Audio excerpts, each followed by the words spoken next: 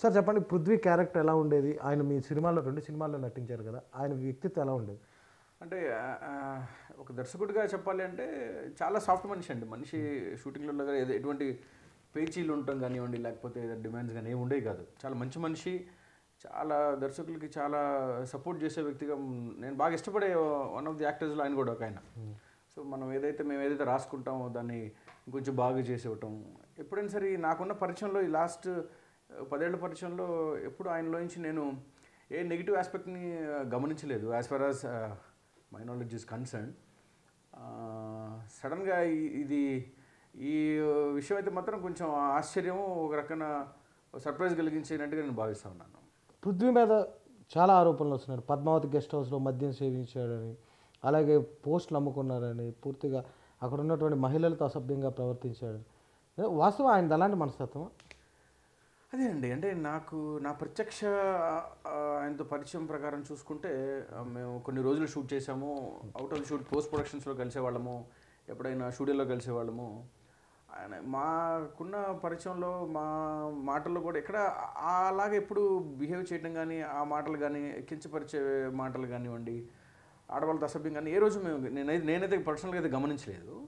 మరి ఆరోపణలన్నీ వస్తూ ఉన్నాయి కాబట్టి మరి దీని మీద ఎంక్వైరీ తెలితే కానీ మనం ఎంక్వైరీ చేసి ఒక రిజల్ట్ వస్తే కానీ దాని మీద పూర్తిగా చెప్పలేం కానీ నాకు తెలిసి పృథ్వీ ఇవన్నీ చేశాడు అంటే నేను పర్సనల్గా అయితే నమ్మలేని పొజిషన్ అది అంటే గతంలోనూ కూడా ఆయన మీద పలు ఆరోపణలు వచ్చాయండి. మహిళలతో సినిమాల్లో కానివ్వండి లేదంటే వ్యక్తిగత జీవితంలోనూ కూడా గొడవపడిన సందర్భాలు ఉన్నాయి. అదేండి మరి దానికి వెనక కారణాలు ఎలా ఉన్నాయి? ఆయన మా ఆయన మానసిక స్థితి కానివ్వండి ఆయన ఉద్దేశాలు లేదా ఆయన రీజన్స్ ఏంటో ఆ గొడవల వెనక రీజన్స్ అయితే నాకు తెలియదు కానీ నా పర్సనల్గా అయితే మాత్రం అతని దగ్గర అలాంటి బిహేవియర్ ఎప్పుడు నేను పర్సనల్గా ప్రత్యక్షంగా అయితే ఎప్పుడు గమనించలేదు. ఈ టీవీలో మాట్లాడుతున్నప్పుడు ఈ ఎలక్షన్ క్యాంపెయిన్స్లో చాలా అగ్రెసివ్గా ఉండేవాడు. చాలా ఆవేశంగా మాట్లాడటం ఇవన్నీ చూస్తే ఒక కొత్త మనిషిలాగా అనిపించేవాళ్ళు మాకు.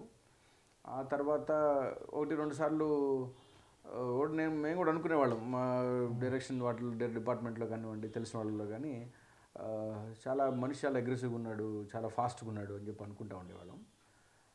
సో ఇదైతే మాత్రం ఒక ఒక మనిషి అతనిలో ఒక కొత్త మనిషి ఏమో అనిపించినట్టు అనిపించింది.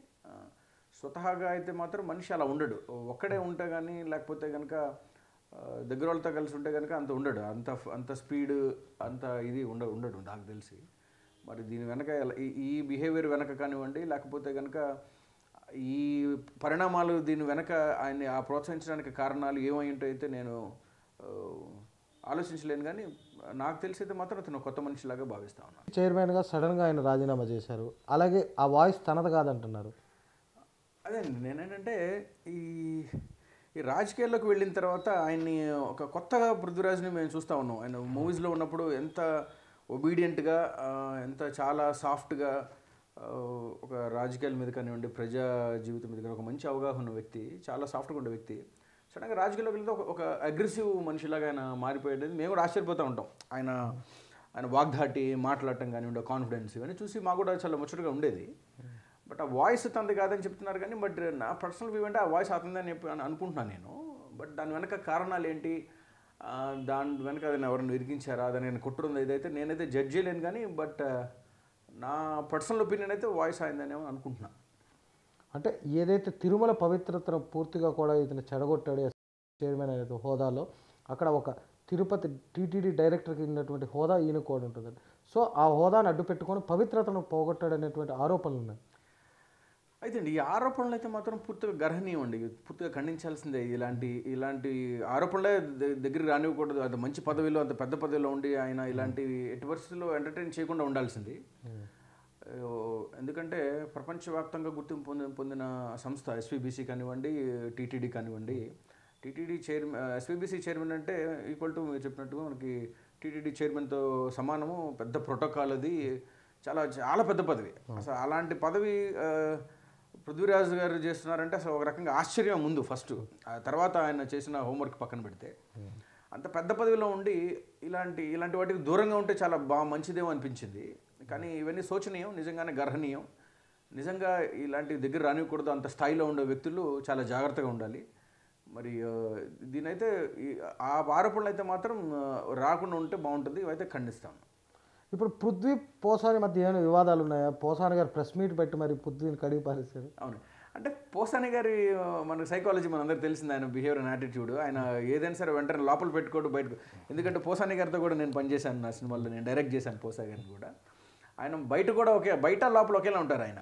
ఇప్పుడు పృథ్వీ గారు ఏంటంటే సమయానికి తగ్గట్టుగా వెళ్ళే మనస్తత్వం. అవసరాన్ని చూసి అవకాశాన్ని చూసి మా మంచిదా కాదా అని మాట్లాడతారు. ఆ పోసాని గారు అలా కాదు. ఆయన లోపల ఏదుంటే అది బయటకు వచ్చేస్తూ ఉంటుంది. సో వాళ్ళిద్దరి మధ్యలో ప్రత్యక్షంగా ఏమీ గొడవలు ఉన్నాయని చెప్పి మేమైతే అనుకోవట్లేదు. ఇద్దరు కలిసి చేశారు నా సినిమాలు ఇద్దరు కలిసి కాంబినేషన్స్లో. పోసాని గారి గురించి ఏంటంటే ఆయన ఏదైతే అనుకుంటాడో అది టక్మని చెప్పేస్తారు. కాబట్టి వాళ్ళిద్దరి మధ్యలో పర్సనల్గా ఏం లేకపోవచ్చు. పృథ్వీ గారు చేసిన కామెంట్స్ని ఆయన చాలా సీరియస్గా తీసుకొని హర్ట్ అవడం జరిగి ఉంటుంది ఆయన ఎవరి మీద నా ప్రెస్ మీట్ పెడతారు కాబట్టి వాళ్ళిద్దరి మధ్యలో ఉన్నాయని చెప్పి మనం అనుకోవాల్సిన అవసరం కూడా లేదు. పోసాని గురించి ప్రపంచం అంతా తెలిసే కాబట్టి. అంటే ఇప్పుడు పృథ్వీకి పదవి పోయింది. ఈ పదవి పోసానికి దక్కే ఛాన్స్ ఉంది? ఆయన కూడా వైసీపీలో పనిచేశారు కదా.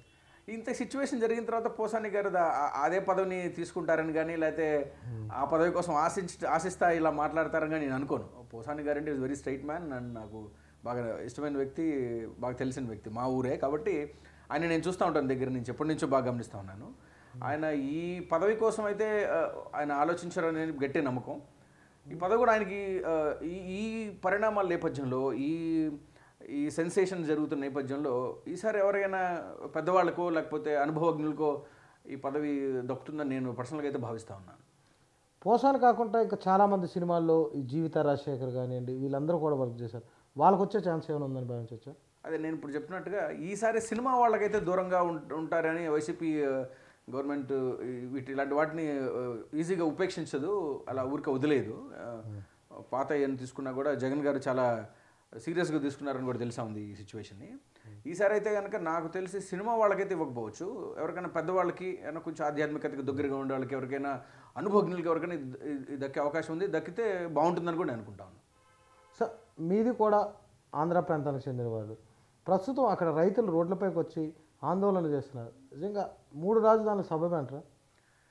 దీని వెనక మనము ఒక సింపుల్గా మూడు రాజధానులు సబబు కాదు అని ఒక ఒక మాటలో చెప్పే అవకాశం లేదండి. ఎందుకంటే యాజ్ ఏ సివిల్ ఆస్పిరెంట్గా నేను గ్రూప్ చదివినోడుగా కానివ్వండి రాజకీయాల మీద ఫాలో అయ్యే వ్యక్తిగా నేను ఒక ఒక ప్రేక్ష ఒక ఒక సిటిజన్గా చెప్పగలిగింది ఏంటంటే మూడు రాజధానులు వద్దు లేదు కావాలి అనేది ఒక సింగిల్ స్టేట్మెంట్లో అయ్యేది కాదు. దీని వెనక ఉండే ఈ స్థితిగతులను కానివ్వండి దాని వెనక లాభ నష్టాలు కానీ పూర్తిగా అంచనా వేసుకొని ఒక డెసిషన్ తీసుకోవాల్సిన సిచ్యువేషన్ ఉంది.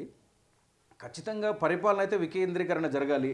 ఒకదానికే కాకుండా ఎలా అయితే ఇప్పటికీ హైదరాబాద్ మొత్తం హైదరాబాద్లో ఉందని చెప్పి చాలామంది రాయలసీమ వాసులు కానివ్వండి ఆంధ్రవాసులు కానీ ఇప్పటికీ వాపుతా ఉన్నారు.